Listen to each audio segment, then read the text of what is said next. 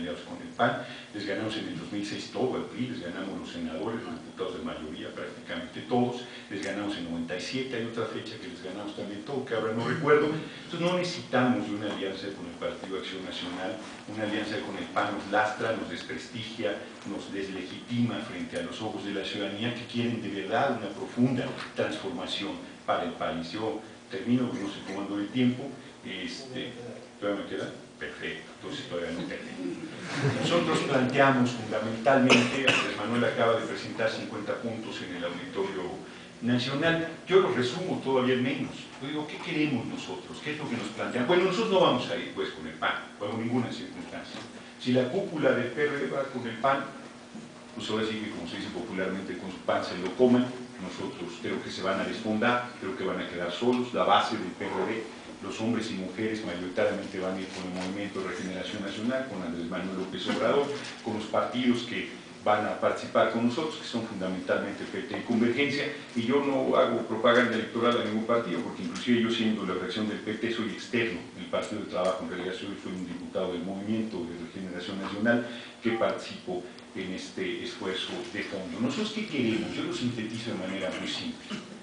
Educación para todos, que no haya un solo joven sin acceso a la universidad, uno solo no hay, uno solo no, no esté sin acceso a la preparatoria, salud para todos, vivienda para todos, tres, cuatro, cinco, seis familias viviendo en una sola casa como muegan, no porque se quieran mucho, sino porque no hay condiciones de vivienda para la mayoría de la gente, alimentación para todos, no debe haber un solo pobre en el país. Cuando fue Cordero a comparecer, yo le dije que había 40 millones ganando un dólar al día, y él muy displicente me dijo así, como que bobo son solo 5 millones, ¿no? Debería haber uno solo, uno solo no debería haber en un país que tiene los recursos que tenemos nosotros. El 40% del presupuesto nacional sale del petróleo, es una riqueza muy importante, a pesar del saqueo que se le entrega a las transnacionales del ramo, podría ser una palanca de desarrollo muy importante, el petróleo, la energía eléctrica y la reconstrucción, por ejemplo, de los ferrocarriles nacionales que los privatizaron planteando que iban a ser los más modernos del mundo bajo gobiernos del PRI, son tan modernos que son invisibles, no existen los ferrocarriles de pasajeros, no hay, ¿no? podría ser un método rápido, público, barato, eficaz de transporte, tenemos una de las vías férreas y de transporte por ferrocarril más importantes del mundo y han sido tiradas a la calle. Entonces nos proponemos eso, alimentación para todos, que no hay un solo hambriento en el país, no hay razón. Tenemos al hombre más rico del mundo, 74 mil millones de dólares, Carlos Slim. Pasó su fortuna en solo un año, un año muy difícil, de 50 mil a 74 mil millones de dólares. Y no pagó impuestos, debería pagar 100 mil millones de pesos de impuestos. ¿Sabían ustedes que si solo los 30 que no pagan impuestos pagaran lo que les corresponde de impuesto sobre el producto de la renta, esos 30 pagarían 500 mil millones de pesos que equivale a toda la recaudación de IVA de todo el país.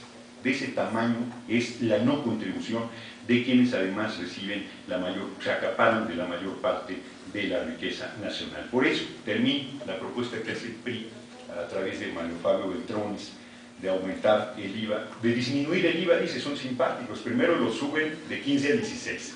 Y luego dice Mario Fabio que lo va a bajar a 13 pero dice que lo va a bajar a 13, ustedes pagan el 16 y luego van con Hacienda para hacer un trámite para que les devuelva el 3%, ¿no? sabiendo que Hacienda no le regresa a la gente ni el saludo. A cambio, quiere meter el 16% de IVA alimentos y medicinas. Yo quiero decir aquí, lo voy a decir de todos modos en descargo, doctor Pablo, que él está en contra de esa iniciativa de Beltrón, ya lo dirá en sus propias palabras.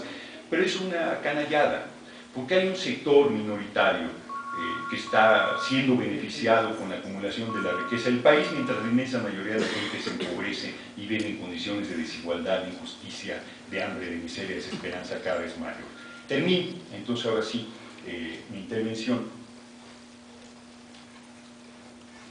planteándoles que yo a todos estos foros planteo dos cosas y no quiero dejar de comentarlas. Yo estoy convencido de que debemos lograr que Calderón renuncie a la presidencia de la República que se Mientras él esté ahí, el daño al país va a ser muy grave. Y hay quien me dice, ya se va, pero si le queda más de un año, y el tipo le hace más daño que un temblor de 20 grados al país. O sea, es terrible. Las decisiones que toma son contrarias al interés nacional y solo un poderoso movimiento popular va a lograr una transformación. No van a ser las cámaras, no van a ser eh, los aparatos de justicia, la presidencia, la gubernatura, las presidencias municipales, es solo un poderoso movimiento popular porque vivimos un régimen de simulación, un régimen de falsedad, donde además vivimos tiempos canallas, donde la mentira, el fraude, la trampa, la corrupción, el asesinato son los signos de nuestro tiempo y son cosas que tenemos que modificar. Y en ese plano los jóvenes están llamados a jugar un papel fundamental. Yo celebro muchísimo que haya interés nuevamente de los jóvenes en la participación política. y no hablo de la participación política partidaria, hablo de la participación política para la transformación del país. Un joven que no es revolucionario nació viejo, un joven que es de derecha es un anciano. Se requiere un proceso de compromiso, de transformación, de lucha, de consecuencia, que es al que yo los vengo a invitar. Los vengo a invitar a luchar. Si se lucha se puede ganar, si se lucha se puede perder, pero si no se lucha todo está perdido y yo estoy absolutamente convencido de que vamos a transformar este país y que ustedes, los jóvenes, particularmente los universitarios de la UNAM, están llamados a jugar un papel sobresaliente en la transformación de nuestro país. Muchas gracias.